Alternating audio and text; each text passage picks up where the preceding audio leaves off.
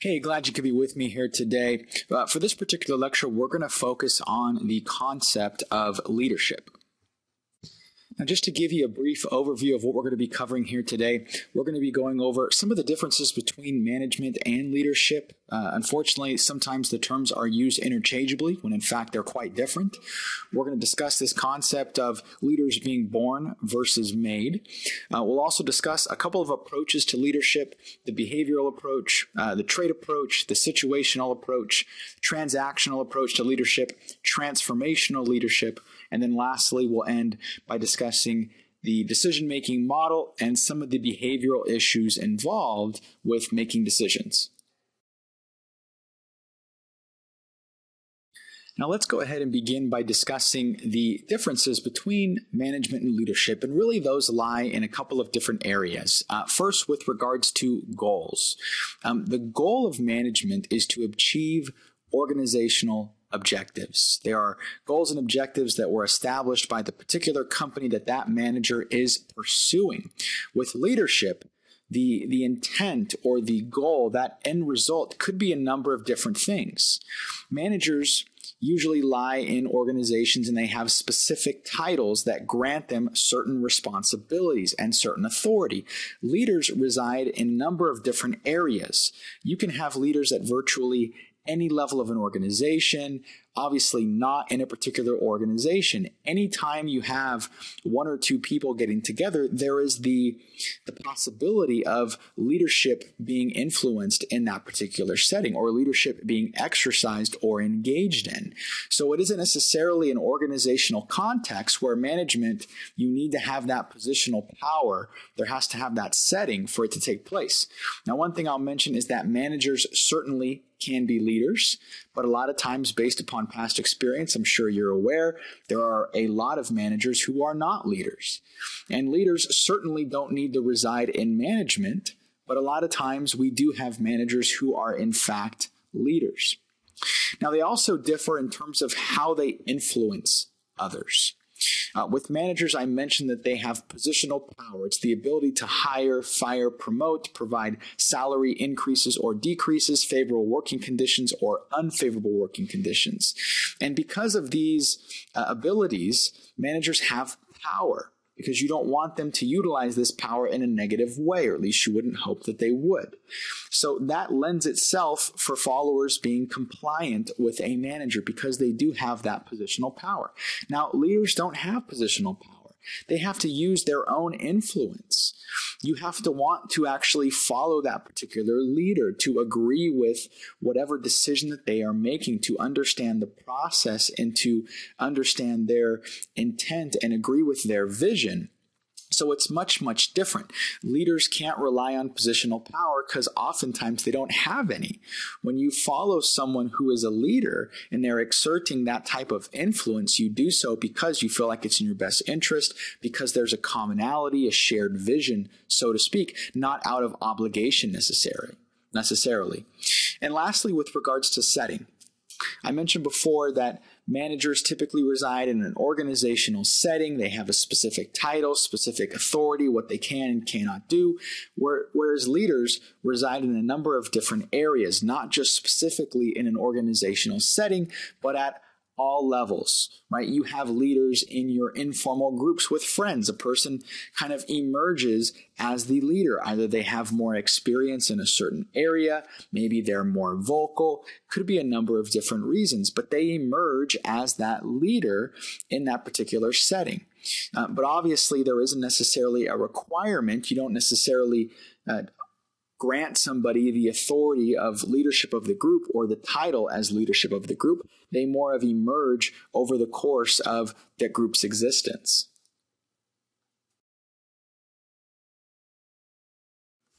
Now, are leaders born or made?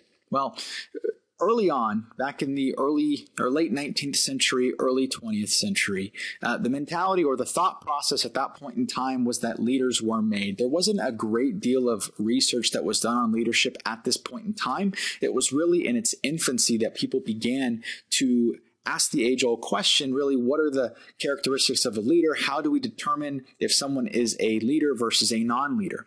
And early on, they developed what's called the great man theory. And the great man theory was that leaders were born and were not made, meaning that when you were born, you were automatically, for some reason, predisposed to becoming a leader. You had leaders versus non leaders. There was not anything that you can do. There was nothing in your power that could actually change that. There wasn't a training class you can take. You couldn't develop and increase those leadership skills. You either had it or you don't, which is extremely frustrating and somewhat demotivating for some of us who maybe we aren't necessarily leaders, so to speak, right? We can't improve it. We can't gain that particular skill set. It's more innate, more of an ability. Um, so that was the thought process during this particular time there. And within that, this really produced uh, and kind of guided a lot of the research at that particular point in time because the mentality was that leaders were born and that they were not made. This shifted the course of research. And research began to try to look at well, if we know that leaders are born and not made, how do we determine if someone is a leader versus a non leader?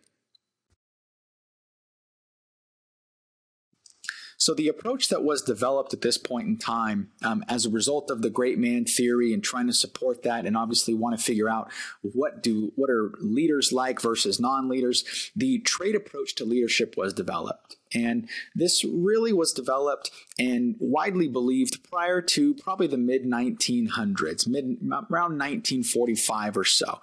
And this was the belief that there was a certain characteristic that was essential for effective leadership.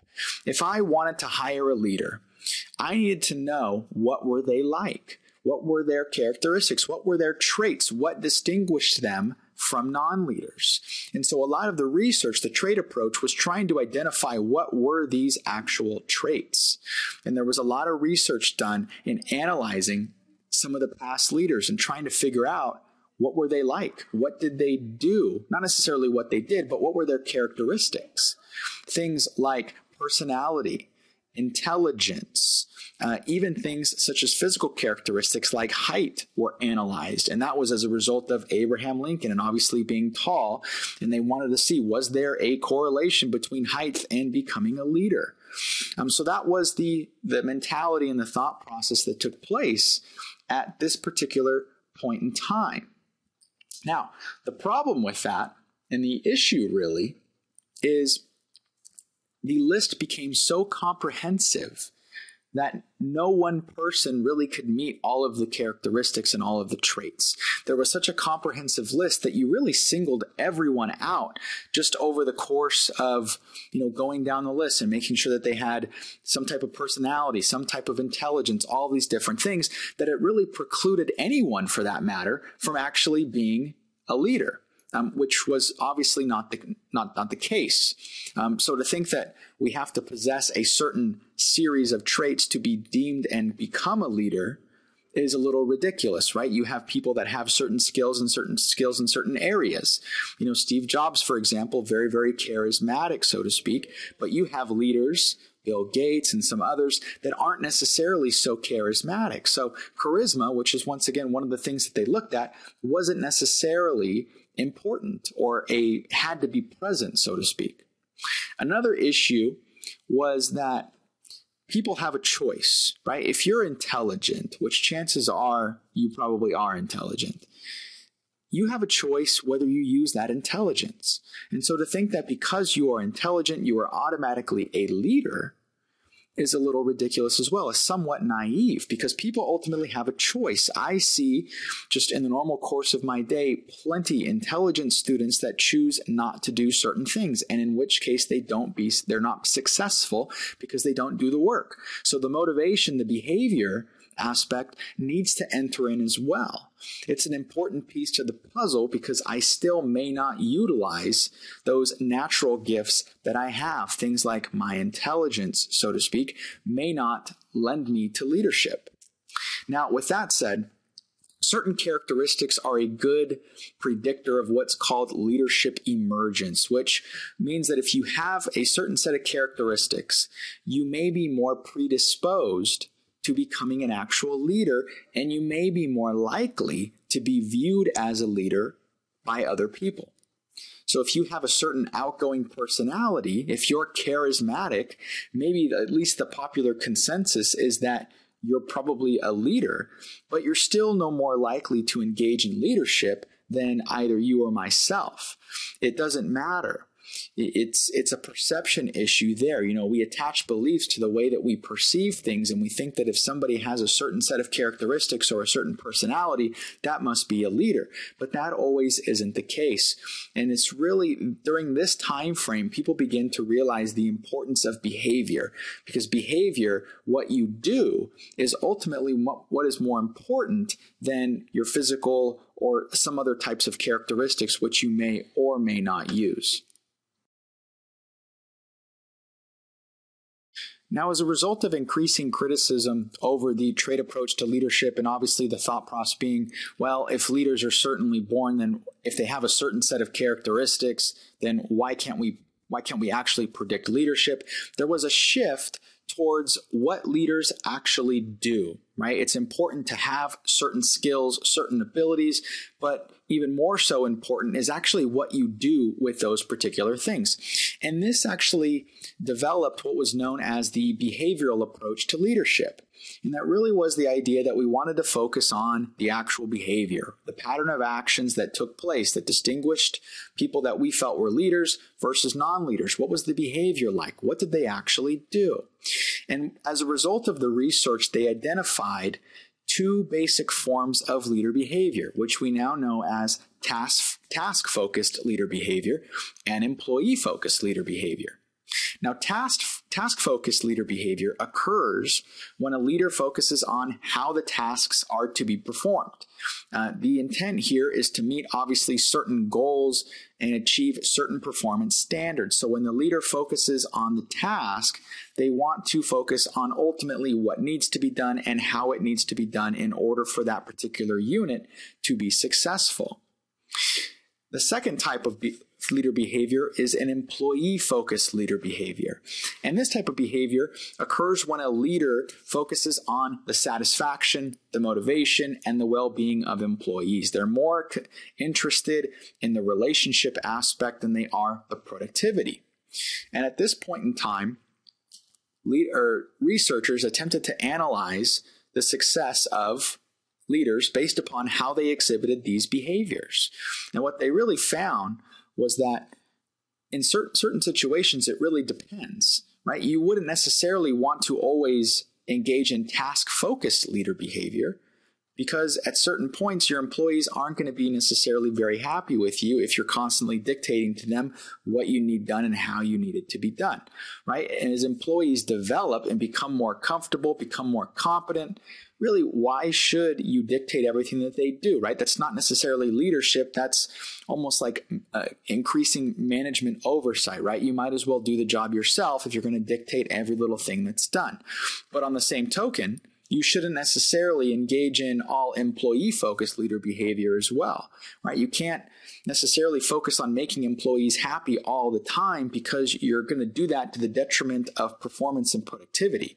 And although there are things that a manager has to do to keep the peace, so to speak, they also have to have a certain level of performance or their job is going to be in jeopardy. And so this led researchers to believe that really it needs to depend upon the situation. There really isn't a good leadership style to emphasize in all situations.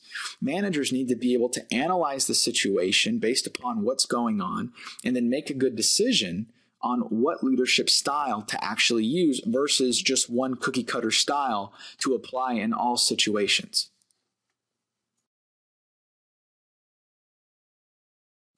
Now, situational leadership is a approach that really built upon the behavioral approaches and the ones that preceded it.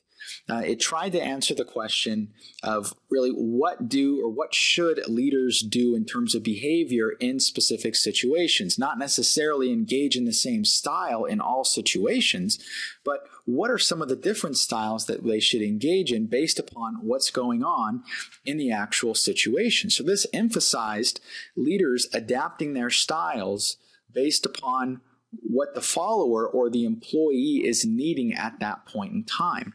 And this was developed by both Paul Hersey and Ken Blanchard. Uh, and they developed the situational leadership model, which you see here. And this particular model was a kind of a contrast between supporting and directing behaviors. Uh, the idea being that there are uh, specific types of behaviors, and leaders want to engage in a good combination of both of them.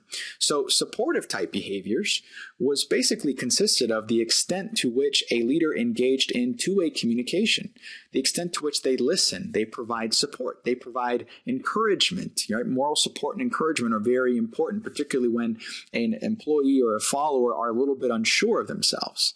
But they also facilitate interaction and they involve followers in decision making. Both Hersey and Blanchard believed that this was important at some stages. They also felt it was appropriate to utilize directive behaviors. And directive behaviors are emphasized by one way communication.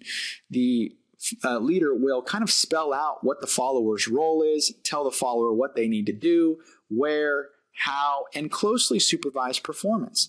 And although that isn't necessarily ideal in all situations, it certainly was ideal in certain specific situations as well.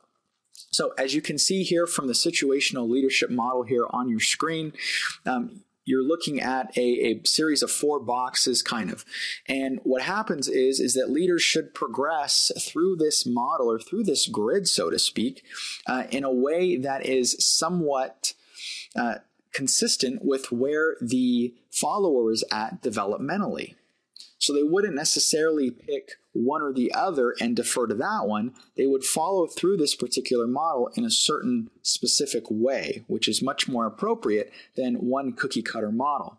So, as you can see here, the first is directing. Directing behavior specifically has to do with the leader defining what the role of the employee is. They're telling them what needs to be done, how it needs to be done, and where to perform certain tasks. It's very much emphasizes directive behavior, very low on the supporting scale. Doesn't mean that the leader is very mean and cruel and all those different types of things. It just means that they utilize more of a directive style, so to speak. They're more task oriented at this stage. And the reason they're doing this is in response to the developmental level of the follower right? Think about when you first start a new job and everything is new. You're not quite sure what needs to be done. You're not quite sure how to perform certain tasks. This would be an appropriate style for you at that stage, right? Because you come into it and you have very low competence in that particular area. Maybe there are certain things you know very well, but for the most part, there's going to be some tasks that you're going to have to learn. And so you have a relatively low competence in those areas, but you have a high commitment. Um, and one thing I should mention is that Hersey and Blanchard both felt that the two variables that need to be needed to be considered with regards to followers was their competence and commitment at certain tasks. So you'll hear me constantly referring to those over the course of this particular slide. Those are important things to keep in mind. So at the first developmental stage, followers are have very low competence. They're just starting the task. They're not quite sure how to do things, but they have high commitment. They want to learn. They're excited to be there. Say it's a new job or new position, so everything is new. It's very exciting. But you, so you want to be there, um, but you don't have the competence yet. In that case, it would be very important for a leader or manager to utilize a directing style because they don't need to be supportive because you have a lot of co- a lot of commitment there, but you don't have the competence yet. So the directing approach would be appropriate. Now, usually what happens after the first stage, a couple of things can take place. First of which, when you're starting a new task or you're learning something new, whether it's playing guitar, riding a skateboard, uh, you know, flying an airplane, whatever it is, when you're learning something new, two things can happen. First of which is the task turns out to be much more difficult than you anticipated. It's a lot more difficult to learn it. You hit some type of roadblock. Or it's not as interesting as you thought, right? You kind of learn a little bit, figure out that, you know what, this really isn't for me. I'm not that interested. So a couple things happen. Um, I obviously you're you're faced with a decision, of course, to stop performing that particular task. But in an organizational setting, your leader or manager will want you to continue, obviously. So they should progress to the second style, which is coaching. Now, coaching, as you can see, is both high directive and high supportive. And the reason that it is, is that you do have some competence, right? But you're not there yet. You've been with the organization for a little bit, but you've kind of just scratched the surface in terms of what you need to know. But your comp, your commitment is low, meaning that you're not quite sure if you want to continue. It's more challenging. So maybe you want to do something else. Your commitment begins to lessen and it's low. So a manager needs to emphasize a coaching type style, in which case they'll provide still a great deal of direction and control, but they're also going to be more supportive. They're going to encourage you to try to continue, to make sure that you continue with the task that you're learning. Now, assuming that you make it through that second stage and go on to the third, managers will engage in what's called a supporting style, which, if you're looking at the grid here, you see that it's low directive but high supportive. The reason that it's low directive is that at this stage, you have a high degree of competence, at least you should. But what happens is because they're still supporting you, when you learn a task, and say, for example, when you first learn how to ride a bike, and typically the way that we learn for the most part is you're riding a bike with training wheels and you have, you know, someone holding on to the, the seat, could be a mom or dad, and that particular person, mom or dad, lets go of the seat and then you're riding on your own. And what happens is instantly is that there's a little bit of self-doubt at first, right? If you ever try to learn a task and the person that's helping you goes away for a little bit, a little bit of self-doubt starts to creep in and you begin to wonder, can I really do this? Now, in actuality, you certainly can. You have the competence to carry out that particular task. But your commitment is what we call variable commitment, meaning that it it is good on some days, bad on the others, depending upon what happens. So, as a leader, it's important to utilize the supporting style where the control of the day to day decision making is ultimately on the follower. They're controlling what happens on the day to day basis. But as a leader, I may still be involved. I may check in every few days just to make sure that the person is going okay. Any questions, concerns, almost like a security blanket. Now they can do the job, they know how to. But once again, they still need a little bit of encouragement to feel like they can truly actually perform the job. Now, lastly, the last stage is what we call delegating. Uh, delegating, as you can see, is very low on the directive scale and very low on the supportive scale. And this is used only when a follower achieves a high level of competence and a high level of commitment, meaning that they are perfectly okay performing the job, they can do it, and they know they can. This is the extremely important important part. Uh, so, as a leader, it doesn't make sense to necessarily be involved heavily and give a lot of feedback because they've proven that they can perform the job duties. So, why would you necessarily spend the time and energy actually doing that? Instead, what this looks like from a leadership approach is maybe initially discussing a particular problem jointly with the person, make sure that there's a good definition for what the problem is, and then ultimately letting all decision making and, everything regarding the task and the achievement of the goal up to the follower. There's really limited check in. Obviously, if there's questions, they can come to you.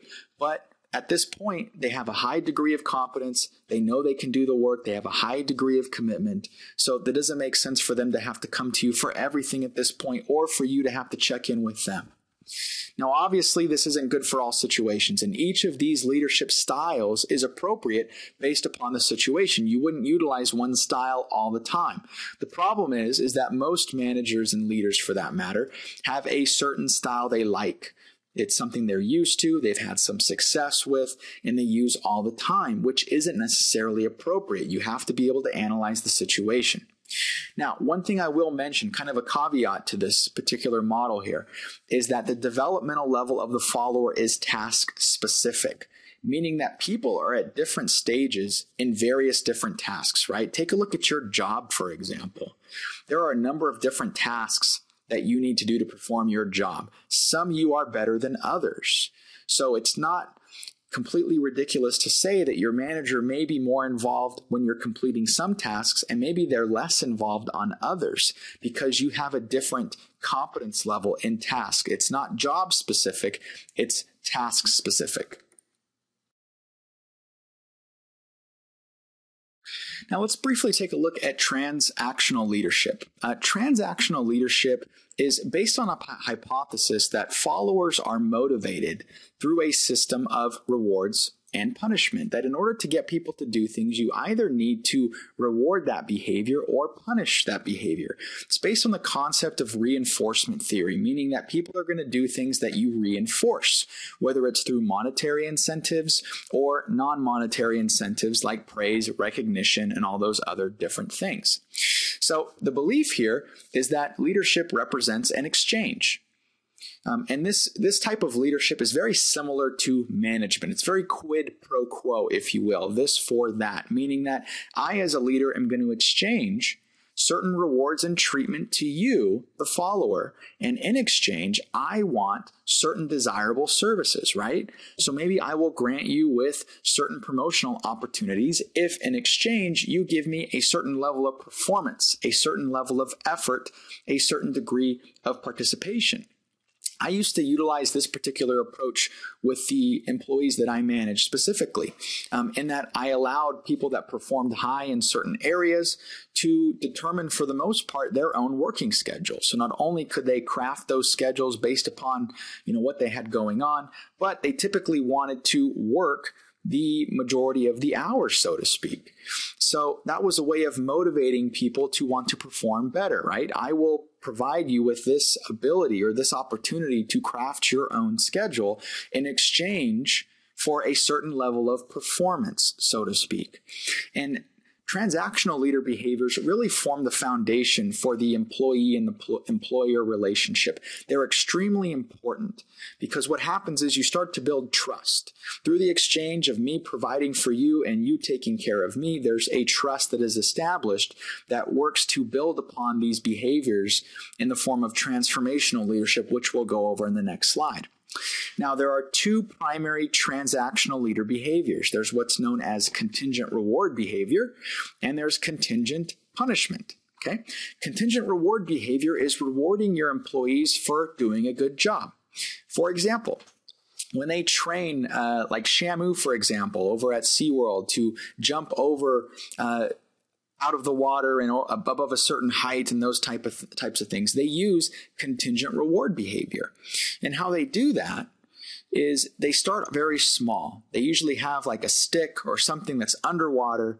And when the whale swims above that particular stick, they give him or her a piece uh, of fish. Okay, so it's a reward. So the, the whale starts to think, hey, you know what? If I swim over this stick, they start giving me food. This is kind of cool. I think I'm going to keep doing that.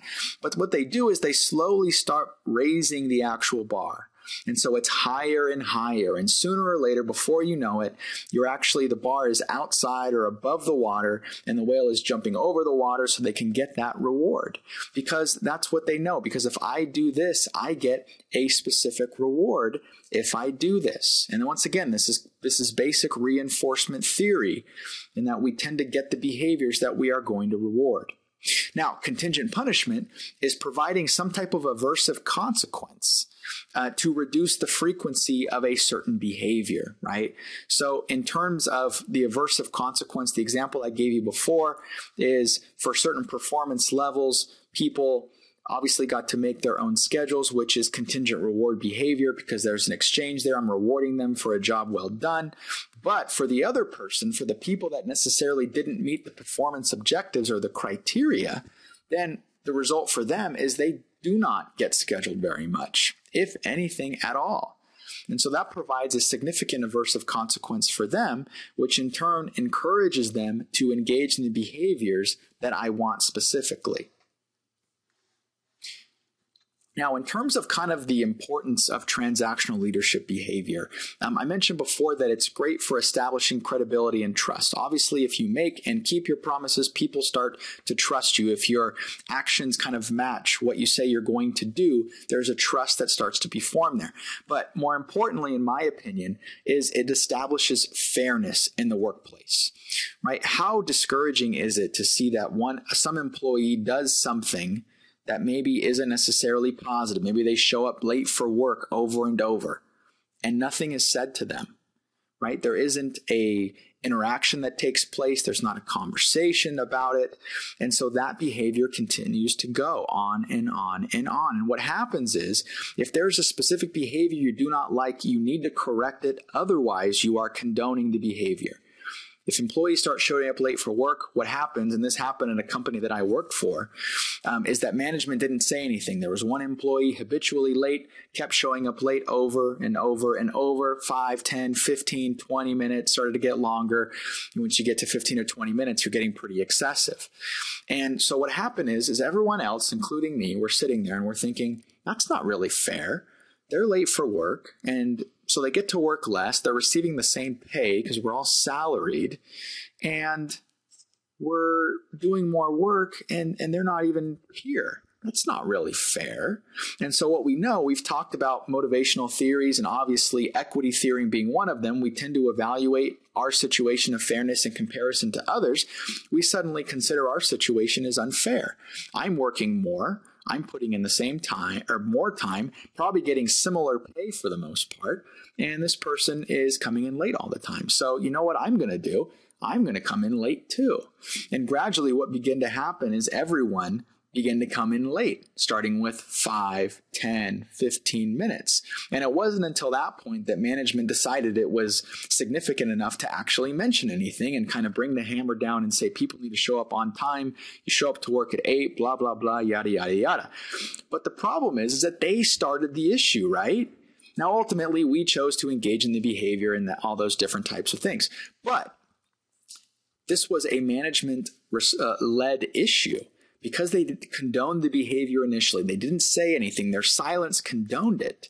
It made it okay for everyone else to continue with that particular behavior because it signaled to everyone in the environment that it was okay. You're not reprimanding them, so obviously it's okay.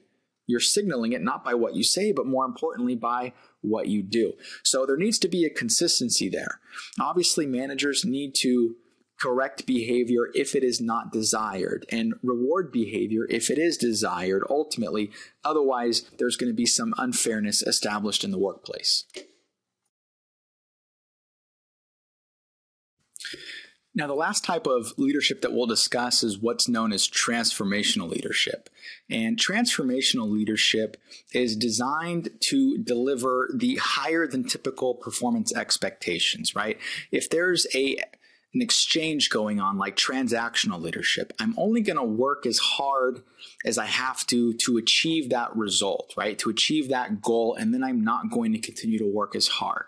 So, is that necessarily effective? Well, it's great for establishing the base foundation, right, of trust, so to speak.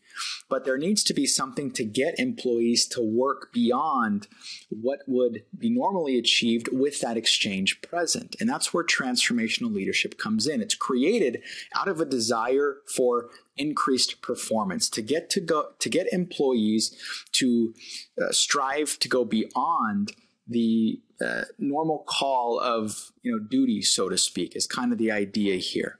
And transformational leadership appeals to our higher level needs uh, in order to motivate us to go beyond our normal expectations, to achieve things that normally we would not think possible because we're inspired to transcend our own personal self interests. And these are extremely important, right?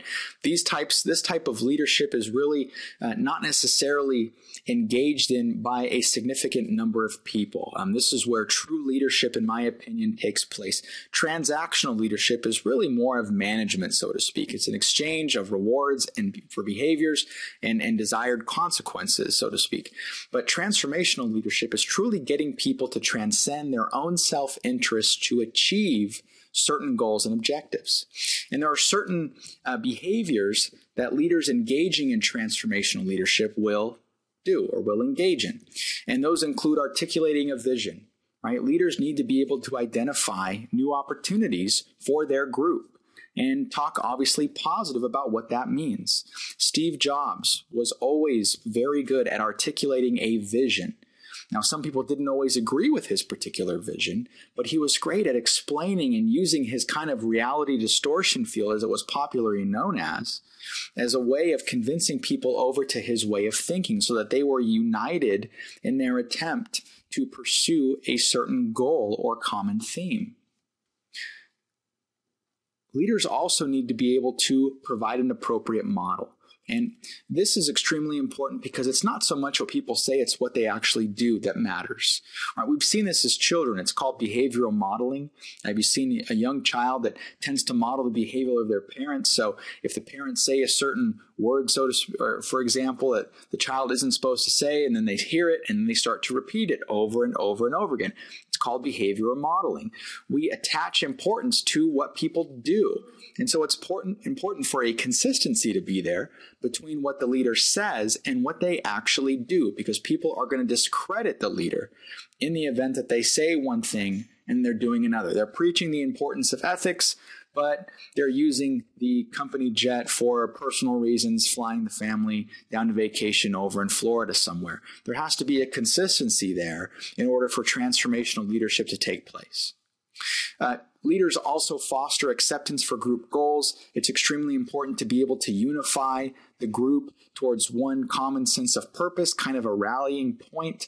Um, and also, environment, environments tend to be competitive in this case, right? We compete for very scarce resources. A lot of times your raise isn't necessarily determined based upon what your contributions are, but economic factors, right? The economy is bad, you may not get a very good raise this year. Not no, so much a sense that you didn't do a good job. That's beside the point. But how do you unify people when there are scarce resources? If I get a really good raise, someone obviously doesn't get as good of a raise. And so leaders also provide the ability to rally followers to work towards one common goal, to get beyond themselves and their own self interest, and to work towards a higher purpose. The next things next thing that leaders do is communicate high performance expectations. It's important that the leader demonstrates an expectation of excellence, of quality, of high performance, right? Setting the bar too low and people aren't going to have to strive to hit that particular goal. Now, of course, if you set it way too high, it can be demotivating and people may know that there's no shot that they can ever achieve that. And so that has to be considered as well. Next, providing individualized support. It's extremely important that the leader obviously supports the followers and is concerned for their personal feelings, right? It's when we tend to think that we're only just a statistics, a number, some type of tool that's being used to accomplish something, when we tend to get uh, somewhat frustrated with our situations. We like to think that we are cared about not necessarily for what we do, but for who we are as people.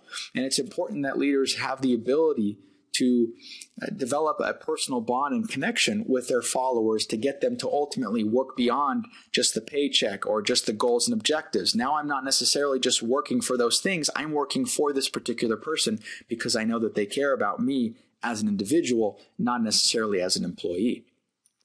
And lastly, providing intellectual stimulation. Um, it's important that leaders challenge assumptions, right? Things like, hey, that's the way we've always done it it's very very uh, disconcerting because the problem is is that you tend to overlook things right? We're familiar with this concept of groupthink the tendency for people to start to think similarly to one another the longer that they've been together and that's not a good thing because once we start to think alike we start to overlook things. The benefit of groups is people have different perspectives and there's going to be some healthy conflict that comes into place that helps us air out some of the issues and some of the things that won't work necessarily. And so leaders need to be able to challenge their followers to re examine those assumptions, to think about how things get done, to think outside the box is the common terminology to be done in this case. Now, one thing I will say about this is that transformational leadership is not just good practice. You shouldn't just do it because it really provides a great deal of organizational success. It can provide a competitive advantage if you can motivate your employees to ultimately work beyond just the paycheck, the rewards, the tangible things I receive, but ultimately I'm working for this higher purpose. And maybe you've been so lucky to work for such an organization in which you identified with the mission and you identified with the values and you were working just for the work's sake and the value that you were derived from it, not necessarily just getting some type of reward. Now, one of the very important things that leaders do is they often make decisions, of course. So it's important to understand, you know, really what's the process that we go through to actually make sound decisions. And there's such a thing known as the rational decision making model. And it outlines what are the things that need to be done? What's the steps that need to be taken in order for, for me to get to a point to where I am making an actual decision. And there are six stages in this particular process. Uh, the first of which is you have to define the problem. And this is one of the most important steps. I would argue probably the most important. And there's a lot of issues that come up here because people fail to properly define what the actual issue is. They jump right to, well, we need to do this. Well, that's a solution. What actually is the problem? What we're actually facing. I'll give you a kind of a uh, more uh, interesting and simplistic example, just so you kind of see how this works, and give you an example of that. Um, my my brother was uh, shopping for a car at one point, and he had a older vehicle. It you know stopped working. It was a you know probably probably about I would say about 19, 20 years old. So it definitely got his use out of it for sure, and uh, was basically falling apart. So you know, made the decision that it wasn't cost effective to put money into the repairs. It was just better to buy another vehicle. So he instantly jumps to, well, I need I need a new car now. And he said, okay, well, what what do you need? What are you looking for? Well, I have I'm looking at all these newer model vehicles, right? Just basically new model or one year old type stuff. And he's kind of going over the, the, the, financing with me and all those types of stuff, and is asking me, hey, you know, do you think you may be able to co-sign? And you know, I can't quite afford it, but I need a new car. I said, well, you you don't need a new car. And he kind of looks at me a little puzzled and says, well, what do you mean? And I said, you need transportation right? You need something to get you from point A to point B. It could be a bus for all it matters. You just need transportation. Says, well, yeah, that, that makes sense. It's like, so look at it from the framework of not necessarily I need a new car. That's not that's not something that's going to solve your problem. Could a new car solve your problem? Absolutely. But it's one of the alternatives. And so going down the road of defining your problem too soon without considering certain things can cause you to overlook certain alternatives, just like my brother did in this example. Um, now, once you define the problem, once you have a good handle on what the issue is, you have to identify what your alternatives are. And this is kind of the brainstorming phase. You identify every single possible thing that could solve that particular problem that you have can be completely realistic, completely ridiculous. It does not matter at this point. You want to get as many as possible. The idea being the more options I have, the more I'm going to have to choose from, the better my options are going to be. Now, once you've done that, you want to evaluate your alternatives. You want to have some way of measuring what's going to be the best option, right? You develop some type of selection criteria. For my brother, he looked at miles per gallon were important to him right? There are certain things that you are going to find that are important, and you kind of hold those up as a litmus test almost.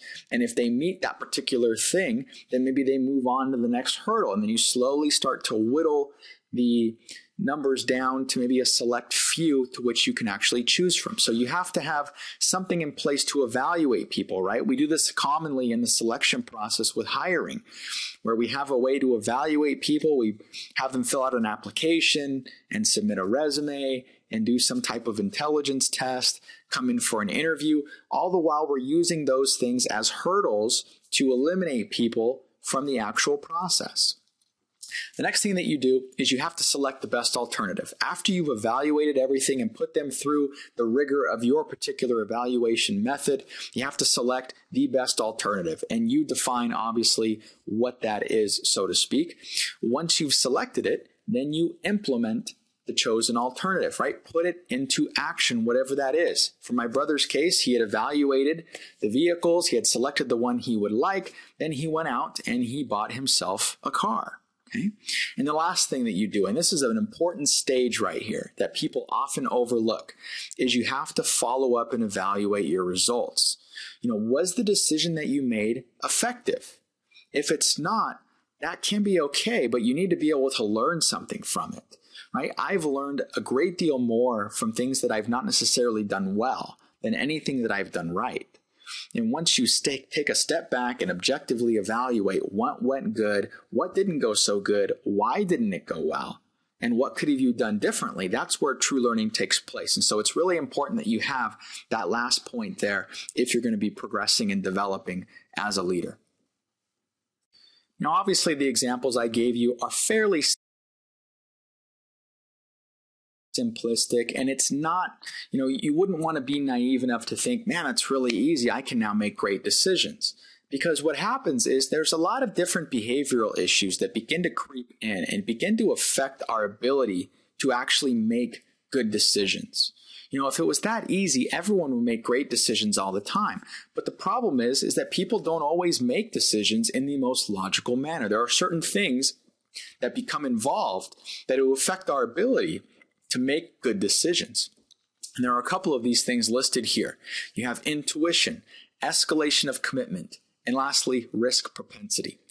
Uh, intuition, obviously, is somewhat innate, right? We have certain beliefs about something. You have a certain gut feeling that you really can't explain. You can't articulate it to people, but you just have a feeling about something. And we need to be kind of cautious with that. Um, intuition can be a great asset. There are a lot of great leaders and managers who use their intuition to make some great business decisions. But intuition in the hands of someone who is inexperienced is extremely dangerous because you don't yet have the, the experience of making decisions and seeing the ramifications and seeing the results to actually develop good intuition. To, to intuition is something that's developed over time. You don't start out with good intuition. It's guessing really but you develop good intuition after seeing decisions implemented, seeing the results, seeing the before and the after. That's when you start to develop really good intuition. So intuition in itself isn't bad, but in the hands of someone who's inexperienced, it can be extremely problematic because you have somebody who's flying by the seat of their pants and making decisions without anything objective and just based upon what they feel, which can be very, very problematic. So you do want to check that, of course. That can be an extremely detrimental issue to making good decisions in a logical way. Uh, next, you have escalation of commitment. Um, escalation of commitment is the idea that once people make a certain decision, they are committed to following that course. Right? Say, for example, if you purchase well, I'll give you a great example. There was an article written in the mid 90s by a gentleman by the name of Steve Stephen Kerr and he wrote an article on escalation of commitment. Uh, I believe it was him, but it was on escalation of commitment. And what the idea was, and he analyzed a couple of situations actually, interestingly enough. He analyzed um, draft picks, um, specifically related to basketball players in the NBA. And so he wanted to analyze if a player was drafted earlier, right, in the first round, and even, you know, earlier in that round would the team stick with that particular player longer than someone who drafted a player maybe in the second or third round if they weren't performing well? And this is what's known as escalation of commitment. If I pay a player, one, I spend my number one draft pick on them, and then I spend multiple million millions of dollars on them, right? I have a lot riding on this. I don't want to pick the wrong player. And so at that point, I'm more committed to keeping with them and to staying with them, giving them more time to develop because I spent a lot of money on them. I wasted the number one draft pick. I'm going to look bad that I can't make good decisions. I'll probably lose my job over this, so to speak. So, really, you're more escalated to continuing with them, right? This happens a lot in football as well right? You spend a lot of money, you go out and you get yourself a Jamarcus Russell for the Oakland Raiders, you spend the number one draft pick, spending tens of millions of dollars, and you keep at it. You, hopefully he'll improve. Hopefully he'll improve. All the while as you're throwing good money after bad because it's a sunk cost, right? That draft pick's gone. You can't get it back. It's a sunk cost. It's an accounting term. That money that you paid him, it's gone. You can't get it back. You have to evaluate your decisions based upon what the present is, not based upon what you did in the past. And unfortunately, we have a hard time doing that, especially with say repairing automobiles, for example. When an automobile breaks down and you're faced with the decision to either, you know, basically junk it or uh, pay money to repair it, you know, oh, it's going to be $400. You think, well, I just put in like two grand into it, so I, I probably should keep it. That's illogical because the money you spent's already gone. Right? It shouldn't factor into the equation because you spent the money, you're not getting it back, it's done, it's a singular event. You can't look at them as combined events, so to speak. Unfortunately, we don't think that way. And that's a problem not only with individual decision making, but it's a problem in sports specifically. You have teams that get committed to a player, and once I've made the commitment, especially if I've invested a lot of time and money into that person, I'm less inclined to want to walk away from them and deem that a failure because that looks bad on my part. And I don't necessarily want to do that. Risk propensity is the last behavioral issue here. Um, obviously, certain people are very risk averse, meaning they don't like risk. They tend to stay away from it. Not all risk is bad. You have to take risks, but you want them to be calculated risks. And so if you have someone who maybe has is very risk averse, then they're not going to make decisions that they deem as somewhat risky, even after evaluating the alternatives, so to speak. And so this in itself isn't bad. Now, you obviously don't want someone who just loves risk. And because something is risky, they want to go through with it, all the while all the signs are saying this is not really a good idea. Those are things you have to consider as well. And so these are three primary behavioral issues that are involved, uh, not only just in a management setting, but really in everyday life that you need to consider when ultimately making sound, logical decisions. All right, that concludes this particular lecture on leadership. Thank you very much for listening. I really appreciate it. Hope you have a great week. Please let me know if you have any questions.